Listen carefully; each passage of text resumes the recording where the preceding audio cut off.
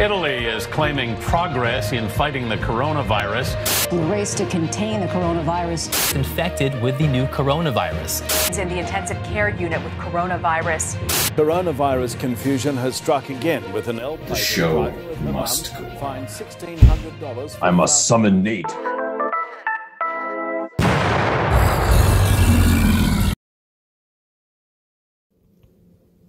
I got it.